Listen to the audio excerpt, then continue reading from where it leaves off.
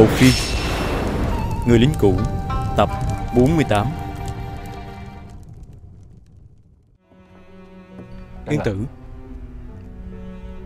Em vẫn muốn tiếp tục chiến tranh lạnh với bọn anh à Nếu tiểu cô lâu rời khỏi nhà chúng ta Thì em sẽ không dính líu gì đến bọn anh một chút nào đâu. Bọn anh cũng là lo lắng cho em Nên mới nói dối em đấy Em có cần phải tức giận như vậy không? Em không cần bọn anh lo lắng Nếu có thời gian thì tự anh lo lắng cho bản thân của mình đi. Những lời này của em là có ý gì vậy? anh là do giết cảnh sát nên mới bị bắt nhốt vào nhà giam. Thời gian ở tù nhất định không ngắn như vậy đâu. Có phải anh đã bỏ trốn ra ngoài không? Anh có từng suy nghĩ Bọn họ sẽ tìm thấy anh và bắt giam anh lại lần nữa không? Anh Đúng là em nhỏ hơn anh nhiều. Nhưng xin anh đừng xem em là con nít Mà chơi đùa với em được không? Nếu như cha biết được anh trở thành tội phạm bỏ trốn Thì cha sẽ đau lòng đến nhường nào? Lúc em rời đi Anh luôn miệng nói Giúp cha rửa sạch tội hắn gian.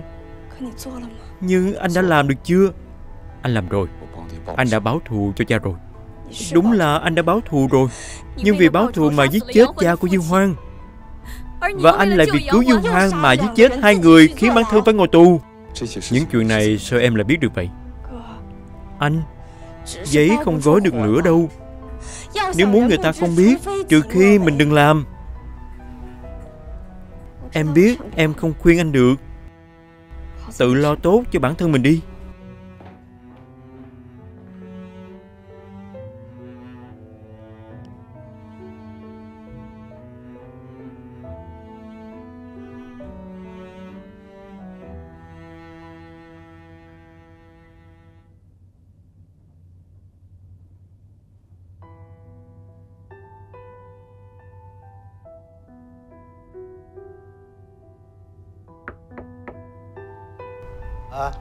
Vào đi.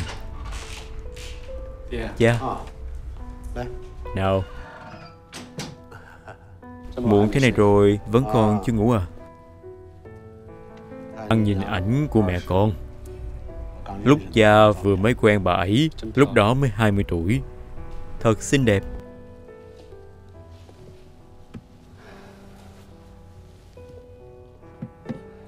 Cha Căn phòng này vẫn giống y đúc so với lúc mẹ qua đời. Có đôi lúc con thực sự cảm thấy mẹ giống như là vẫn còn sống vậy. Không có đồng đậy vào thứ gì hết ta đặt hết toàn bộ những món đồ mà mẹ con thích lúc còn sống ở đây. Cứ giống như là bà ấy vẫn còn đang ở đây với ta vậy. Lúc còn sống luôn căn dặn ta Nói phải nhất định chăm sóc tốt cho bằng viễn. Đừng để nó đi sai con đường Khôn lớn thành người. Nếu như hôm nay bà ấy còn ở đây Nhìn thấy con bây giờ đã học thành tài rồi Bà ấy sẽ rất vui cho xem. Nhìn đây này Con trai bà quay về rồi. Cha, mẹ con không ở đây Con cũng không bên cạnh cha. Cha nhất định rất cô đơn phải không? Cũng ổn Những năm nay Chú thất con luôn ở bên ta con trai hứa với cha Sẽ không rời xa cha nữa đâu. Được. Yến tử. Yến tử. Làm gì vậy? Bên ngoài có người tìm em. Đợi một lát Người đàn ông đó là ai vậy Anh chẳng phải chúng ta đã nói sau này Sẽ không can thiệp vào chuyện của nhau. Chuyện của em không cần anh lo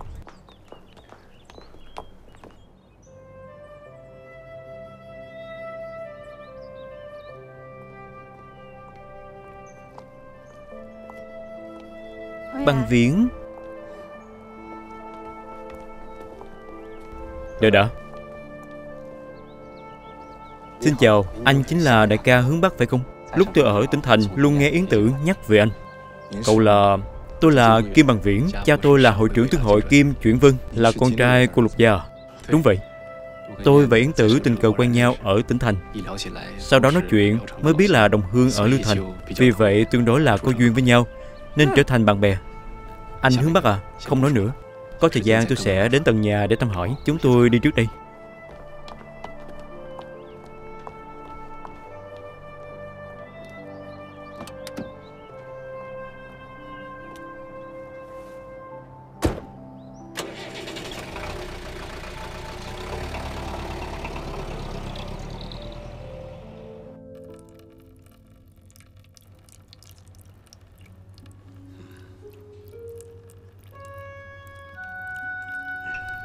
Cô đặt xuống đi.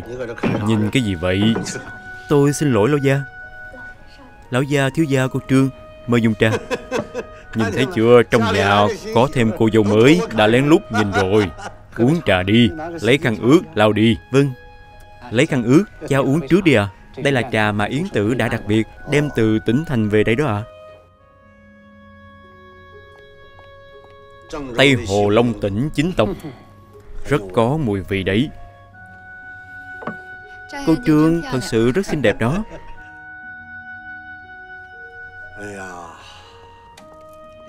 Yến tử à Hai đứa quen nhau từ khi nào vậy? Hai đứa con tình cờ quen biết nhau ở tiệm cà phê đấy Đang hỏi Yến Tử mà Con dành trả lời cái gì chứ? Vẫn là cái tính khí đó. Bác trai Cháu và bằng viễn quen nhau Ở tiệm cà phê trong tỉnh thành đó ạ à. Lúc đó tiệm cà phê có một trận đấu súng. Bằng viễn không ngại nguy hiểm Bảo vệ cháu Vì vậy bọn cháu đã quen nhau Chuyện này cũng rất truyền kỳ đó. Có một trận súng bảo vệ cháu. Bắt đầu câu chuyện này rất hay Dùng câu nói của người thanh niên trẻ tuổi các con là Lãng mạn. Con cướp lời cái gì chứ? Ta biết là lãng mạn à. Con tưởng rằng ta quê mùa Đây gọi là anh hùng cứu mỹ nhân. Đúng vậy.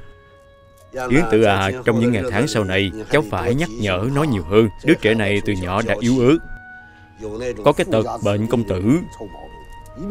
Nhất định phải thay đổi nó. Thật ra bằng viễn cũng rất trưởng thành rồi. Ngược lại là cháu Luôn tức giận với nấy Vẫn là anh ấy chiều chuộng cháu. Cha nghe thấy chưa hả? Con thực sự không giống những gì cha nghĩ đâu. Thật ra con cũng rất có trách nhiệm lắm. Người ta đang nói thằng con đó Người ta gọi đây là hiểu chuyện có biết không?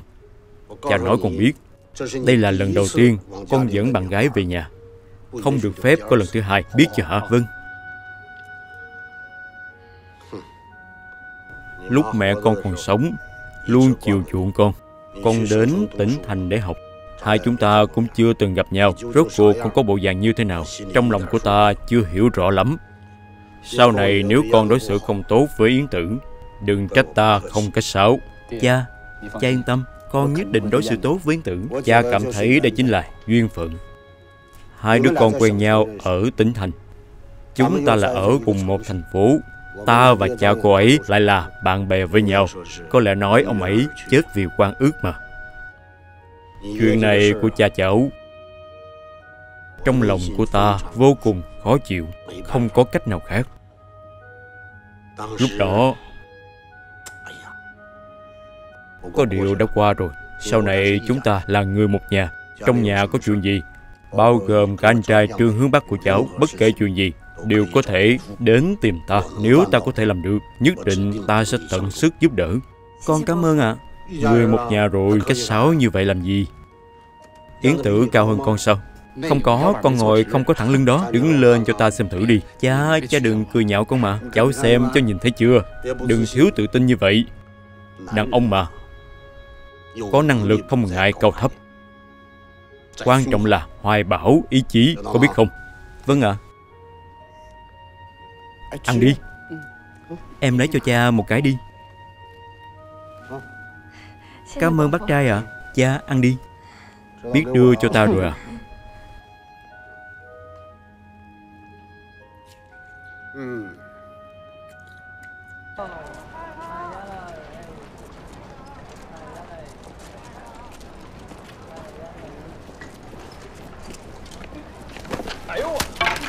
Đi đứng kiểu gì vậy Xin lỗi nhé.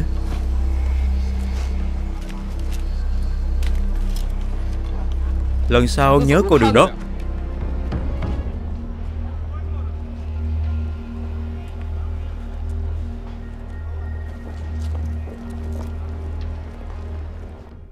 Cậu nói người đàn ông đón Yến Tử đi Là con trai của Kim Lục Gia. Tiểu tử đó tên là Kim Bằng Viễn, Quen biết với Yến Tử trong tỉnh thành có lẽ chuyện tôi ngồi tù chính là cậu ta đã nói cho Yến Tử biết vừa nãy đến nhà tôi để đón Yến Tử đi. Còn họ đi đâu vậy? Sao tôi biết được chứ? Bây giờ em mấy đến tôi cũng không thèm ngó ngàng nữa rồi. Ôi mẹ ơi! Nào, trụ tử.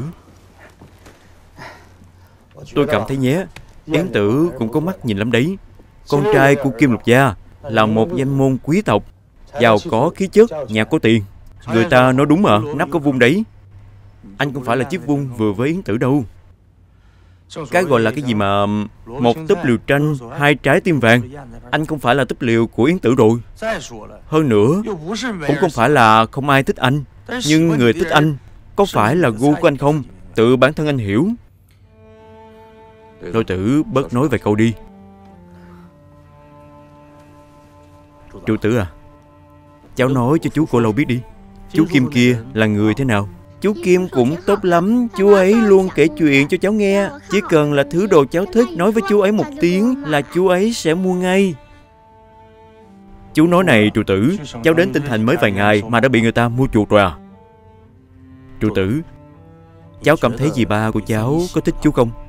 Có lẽ là thích đó. Lúc cháu ở tỉnh thành, Chú Kim thường lái xe chở cháu và dì ba ra ngoài chơi. Dì ba vừa nhìn thấy chú ấy Thì liền cười tươi như hoa vậy đó.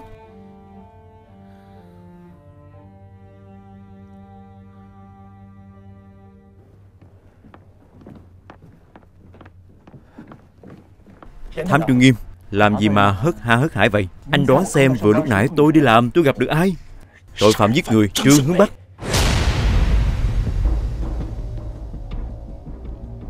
Ở đâu vậy? Trước cửa Đắc Ý Lâu. Không thể nào Nhất định là phải Chính là anh ta. Không được nói cho bất kỳ ai biết. Vâng Không được nói cho bất kỳ ai biết. Đi đi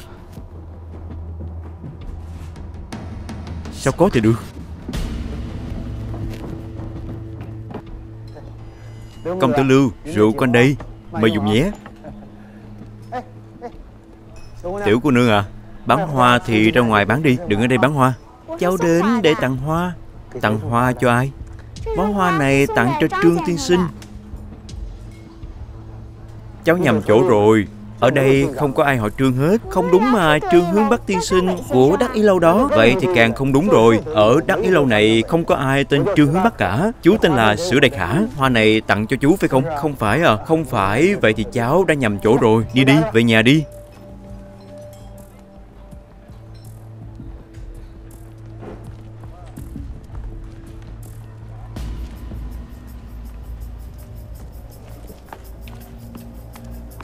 Chú ơi, vừa nãy cháu đến tặng hoa rồi Nhưng người bên trong nói không có ai họ trương cả. Cầm lấy đi. Mua kẹo ăn. Cảm ơn chú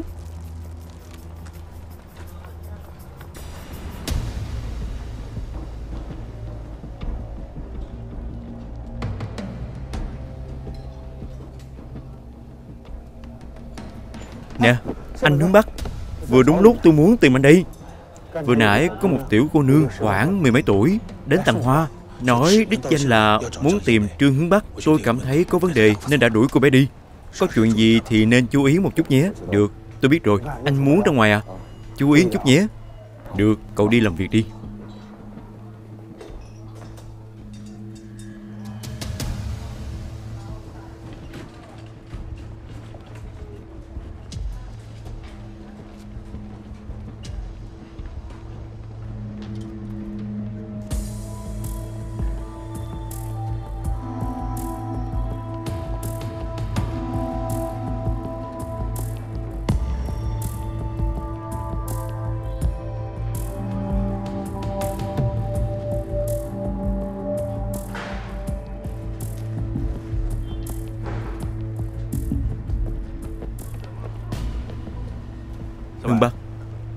Nhìn gì vậy?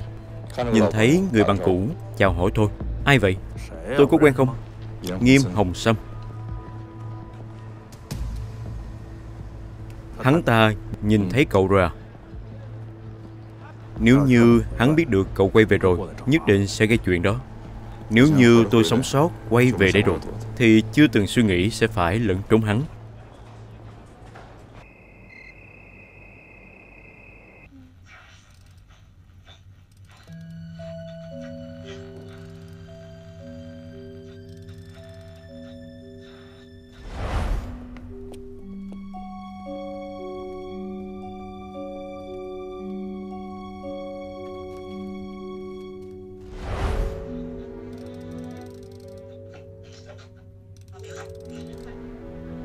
Anh muốn nghe bài gì? Em chỉnh cho. Anh.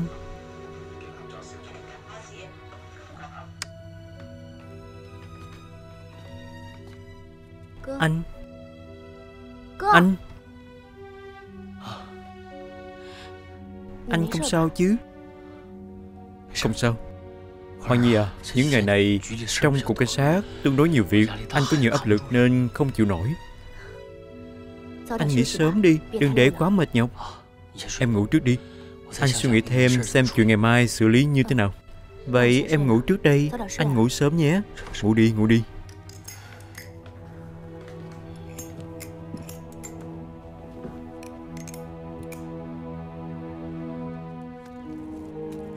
Trương hướng Bắc. Tại sao mày cứ là âm hồn bất tán vậy? Cứ làm loạn cuộc sống của tao.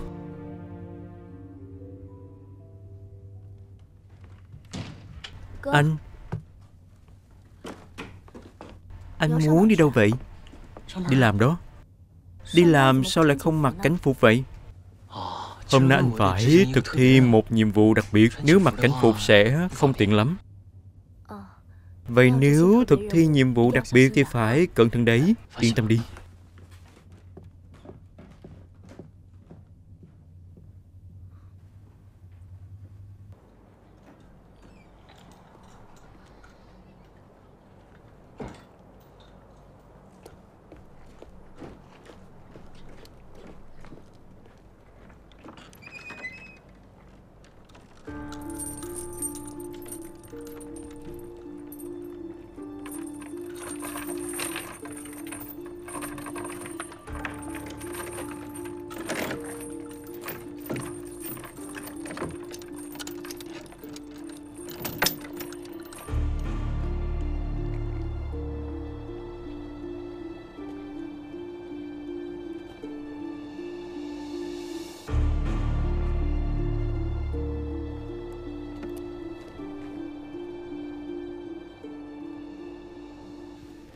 cộng bao nhiêu tiền? Tổng cộng 20 20 đó.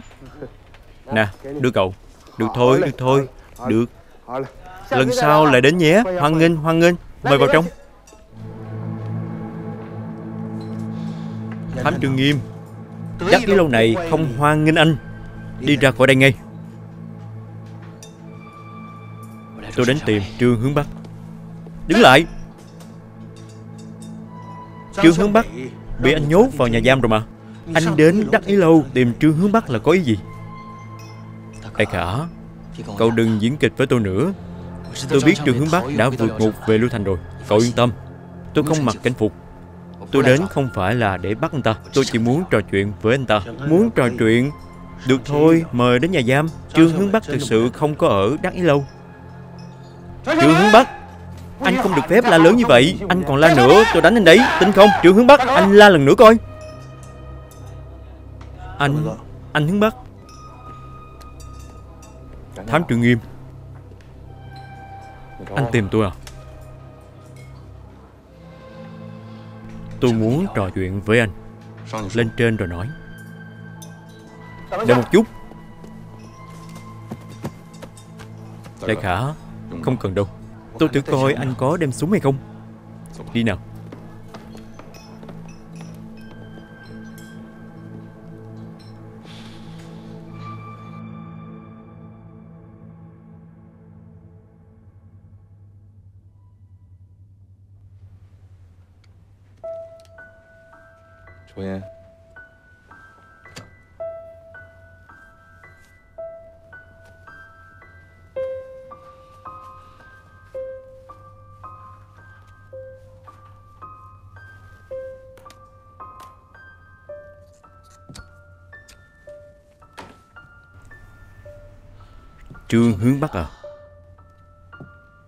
Anh thật sự là cha tôi rồi. Mạng của anh sao lại cứng như thế? Vậy chỉ có thể trách anh dùng những chiêu trò quả thâm kiểm. Bất kể anh phái sát thủ đến hắc thủy nhà giết tôi Hay là hãm hại tôi giết chết cảnh sát Toàn bộ đều không được cao minh cho lắm. Vậy anh dựa vào đâu mà biết? Tất cả những chuyện này đều là do tôi làm. Hiện tại trong phòng này không có ai khác chỉ có hai chúng ta anh nói lời thật lòng đi. Nếu như đã dám làm, Tại sao không dám nhận? Mẹ tôi ơi, Quả thật là hắn ta đang giở trò.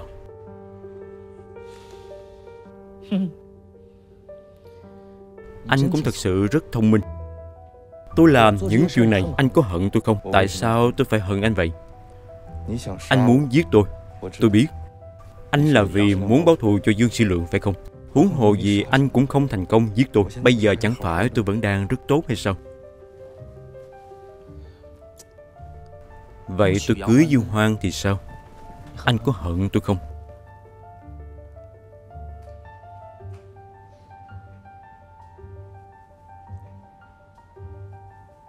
Không lên tiếng rồi à? Vậy thì vẫn là hận tôi rồi, Phải không? Trương hướng Bắc Anh nên làm gì nào? Anh từ Hát Thủy Nha quay về đây. Anh nên nhân lúc tôi không chú ý Mà giết tôi mới đúng. Biết không hả? Anh biết tại sao tôi không giết anh không? Tôi không muốn để Dương Hoàng mất đi chồng. Không muốn nhìn thấy cô ấy đau lòng như thế nào. Trời ơi, lời nói này rất gọn gàng đấy. Thật sự rất hay. Vậy sao? Không muốn để Dương Hoang mất đi chồng Nên không giết tôi. Đây thật sự là trọc cười mà Có phải vậy không, Trương Hướng Bắc. Anh tưởng rằng tôi kêu sát thủ đến Hát Thủy Nha giết anh. Dương Hoang không biết chuyện à? Phải cho rằng như vậy không? Anh sai rồi. Từ cái ngày anh và Ngô Thiên Bảo. Bí mật âm mưu giết chết Dương Sĩ Lượng. Dương Hoang đã hận anh vào trong tận xương tuổi rồi. Vào tận xương tuổi đấy Cô ấy hy vọng anh chết. Anh đối với Dương Hoang vốn chẳng là thứ gì cả Tôi mới là người yêu Dương Hoang Có biết không? Anh là một người đã chết từ lâu rồi. Anh không nên sống mà quay về đây. Hôm nay anh đến là muốn nói với tôi chuyện này à? Không. Tôi vẫn muốn nói cho anh biết một tiếng.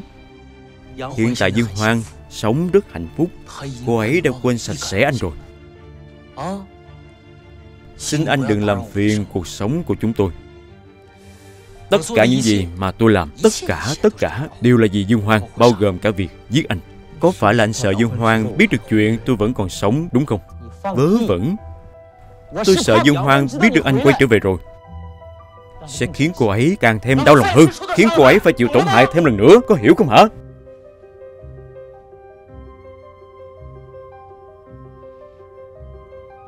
Anh mau chóng quay về hát thủy nha đi. Liêu thành không phải nơi của anh ở lại đâu.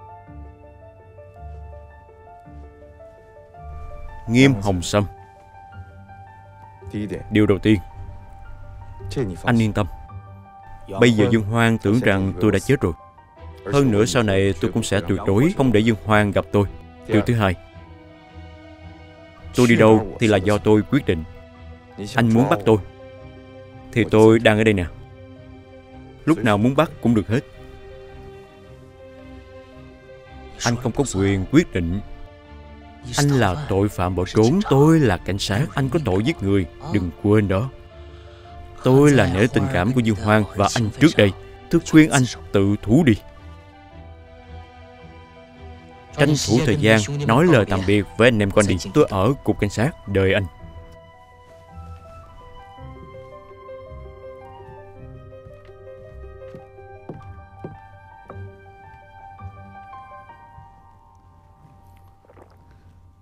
Theo tôi thấy, Nghiêm Học Sâm đến kiếm chuyện với cậu đấy. Chúng ta nhân cơ hội này tiêu diệt hắn luôn đi.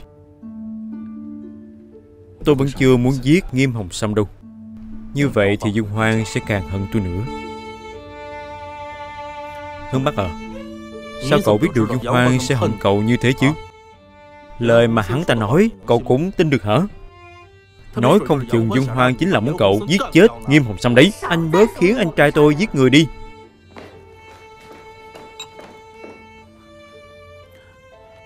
Yến tử, Tiểu của lâu tôi Tôi đã nói sẽ không muốn nhìn thấy anh nữa rồi mà. Anh đi cho tôi. Nhà tôi không hoan nghênh anh. Yến tử, đừng đối xử với cổ lâu như vậy. Tôi không muốn phí lời với anh. Mau chóng đi đi. Vậy tôi ra ngoài trước đây. Hai người trò chuyện đi nha.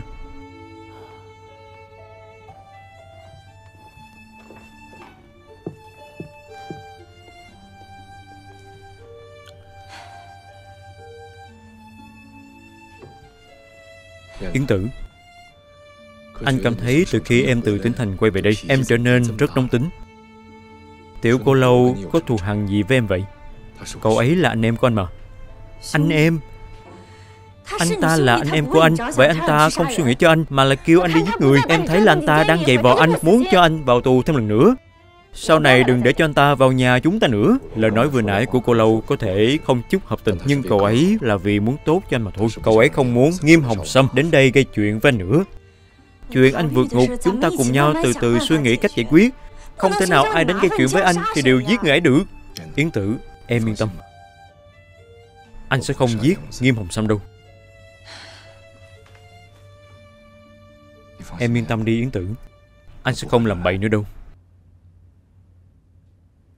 Anh. Anh cũng thay đổi rồi. Tuy rằng em luôn nổi giận với anh Nhưng em thực sự rất cảm ơn anh Đã vì cha, vì nhà này mà làm tất cả. Anh quên Dương Hoang đi. Đi tìm một người chị dâu thích hợp với anh Hương. Kết hôn, lập nghiệp Vui vẻ mà sinh sống. Có được không?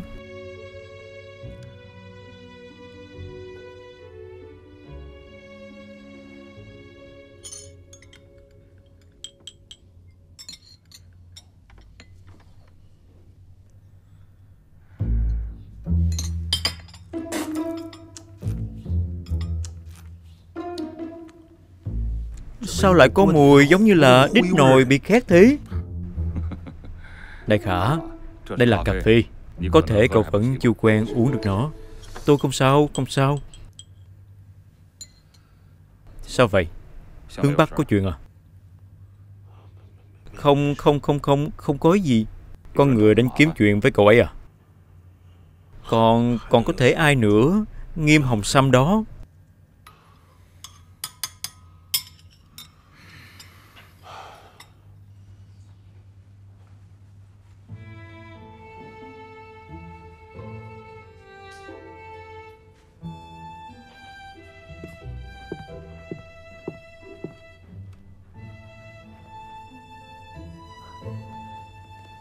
Anh hướng Bắc suy nghĩ gì vậy?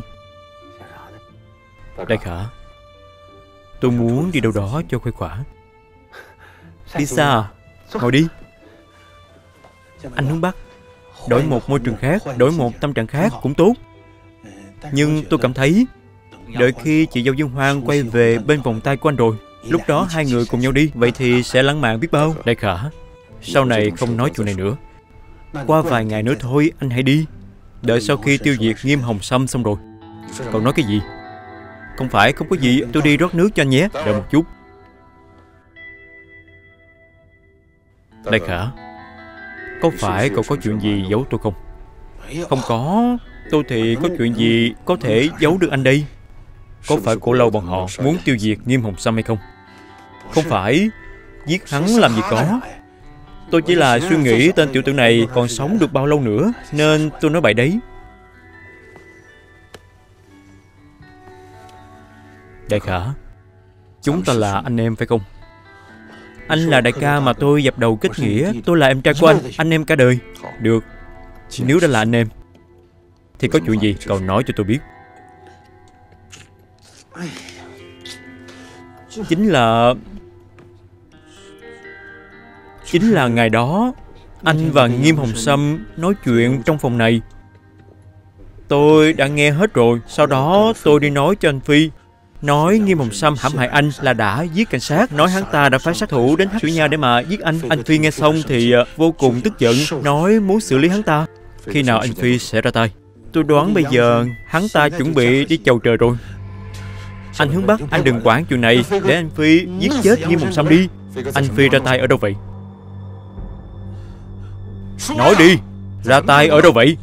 Ra tay ở đâu tôi không biết Chỉ là Anh Phi hỏi tôi nhà của Nghiêm Hồng Sâm nằm ở đâu Xong rồi tôi liền nói cho anh ta biết.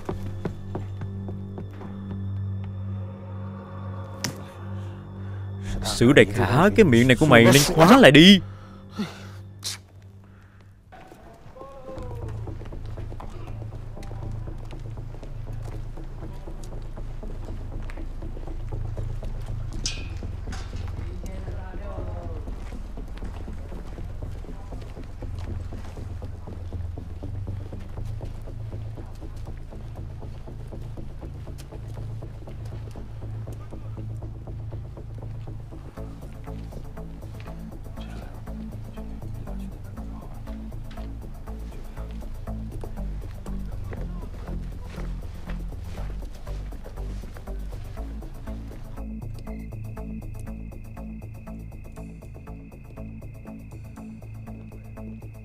Ăn cướp đây, Cứu mạng với.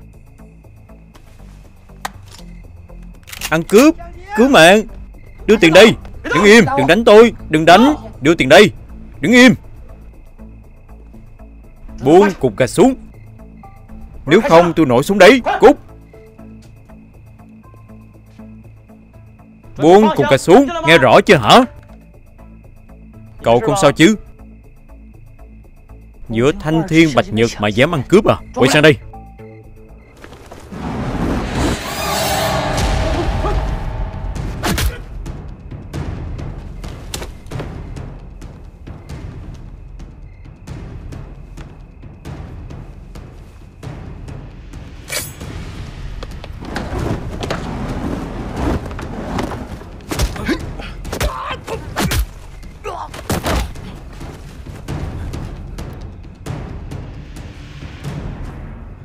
Hướng Bắc Cậu tránh ra cho tôi. Anh Phi không thể giết Nghiêm Hồng Sâm được. Hôm nay tôi nhất định phải giết hắn. Cậu tránh ra.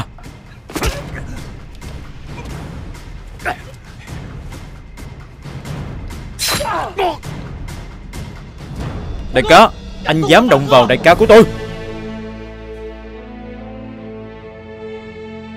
Anh là thứ không biết tốt xấu Tôi phải giết anh. Cút Cút qua một bên. Chuyện không liên quan đến hai người.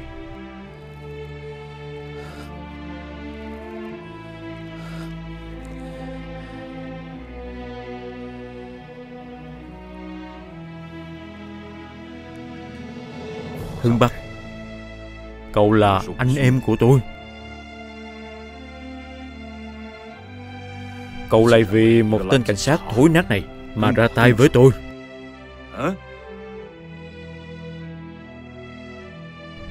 Hắn cướp mất vợ của cậu. Đến việc lúc cậu đang ngồi tù Hắn còn phải sát thủ đến giết cậu. Tôi làm như vậy vì cái gì? Chả lẽ cậu không biết à? Rốt cuộc cậu có não không vậy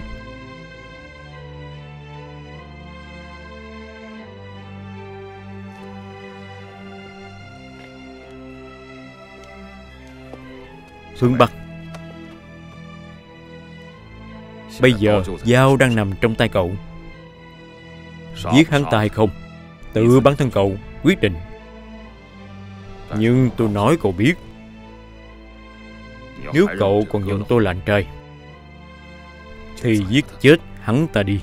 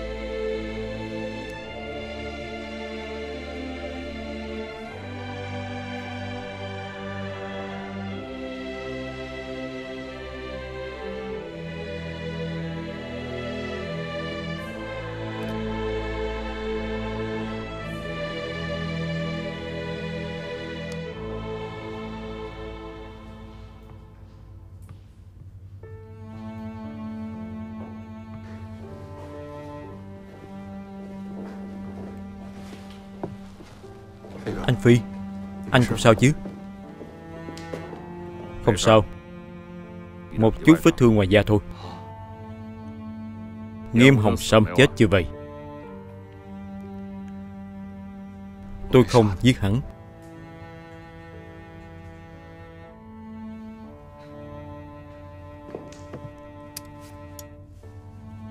Trương hướng Bắc Cậu thật sự khiến tôi không hiểu đó. Bây giờ cậu đã thay đổi rồi Đến nỗi tôi sắp không nhận ra cậu nữa rồi, Anh Phi. Bây giờ tôi chỉ muốn yên ổn, sống qua ngày thôi. Tôi không muốn tiếp tục gây chuyện nữa. Cậu không muốn gây chuyện thì sẽ không có chuyện hay sao? Tại sao hắn ta muốn giết cậu? Bởi vì người mà Dương Hoang yêu là cậu. Cậu cũng yêu Dương Hoang mà. Cậu đừng ở đây giả vờ với tôi. Cậu biết không? Chỉ cần cậu một ngày không chết thì hắn ta nhất định sẽ không buông tha cậu dễ dàng đâu. Còn nữa Cậu sống hèn nhát rụt rè như vậy à? Vậy thì đám anh em này phải làm sao đây? Bọn họ còn đang đợi cậu Theo cậu làm việc mà. Anh Phi Tôi suy nghĩ đến Dương Hoang Suy nghĩ đến mọi người Nên tôi mới không thể giết Nghiêm Hồng Sâm đó. Nếu tôi giết hắn ta Mọi người nhất định sẽ bị tôi liên lụy. Dương Hoang nhất định sẽ rất đau lòng. Tôi có thể làm như vậy được sao? Coi như tôi đã nhìn nhầm cậu rồi Tôi vốn tưởng rằng cậu là một con rồng, Nhưng không ngờ cậu là một con sâu.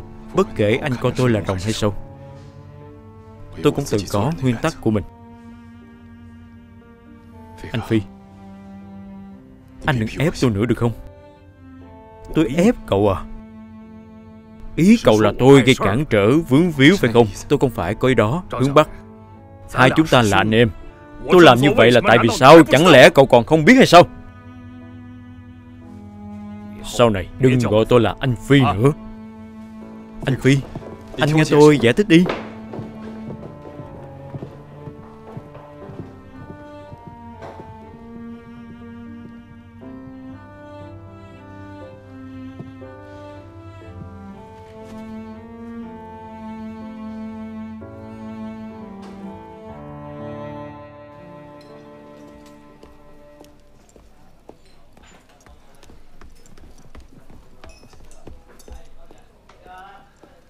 Lau cái bình kia lại đi.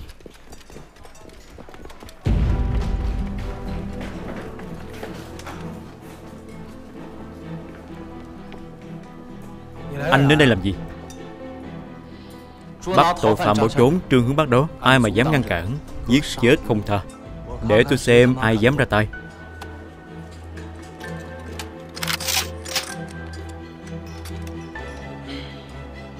Các anh che giấu tội phạm bỏ trốn. Tôi có quyền bắn chết mấy người. Nào, động đậy cho tôi xem đi. Tiết tử. Thám trường nghiêm. Có phải anh quên rồi không? Hướng Bắc cậu ta vẫn còn bị giam trong nhà giam Hắc Thủy nham mà. Trừ khi anh mãi mãi rời khỏi thế giới này Rời khỏi Lưu Thành Nếu không anh ta mà còn sống Thì tôi sẽ bắt được. Lục soát cho tôi. Đừng tìm nữa. Tôi ở đây. Hướng Bắc. Người mà anh muốn bắt chính là tôi. Đừng gây chuyện với anh em của tôi. Đúng là hán tử đâu. Tôi coi như anh tự thú Công tay cho tôi.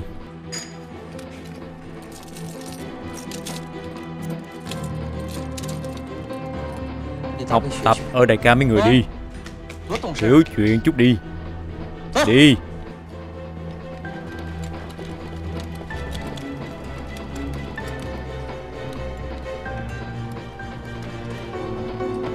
Hướng Bắc Hướng Bắc. Trường hướng Bắc tôi đến để bắt anh. Nếu như bọn họ muốn chết Tôi có thể thành toàn cho bọn họ. Thiết thử cô lâu Đừng kích động. Hai cậu quay về trước đi. Yên tâm đi tôi sẽ không sao. Dẫn đi.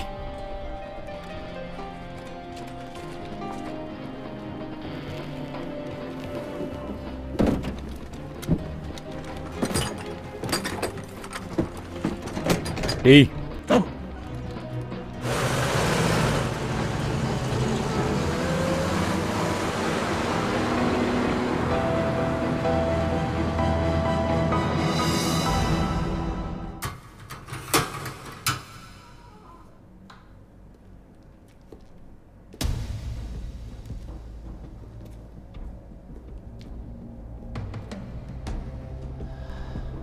Sao nào? Căn phòng này quen thuộc lắm, phải không? Từ sau khi lần trước anh rời đi, Căn phòng này không giam bất kỳ phạm nhân nào. Tôi biết ngay có một ngày anh sẽ quay trở lại đây mà.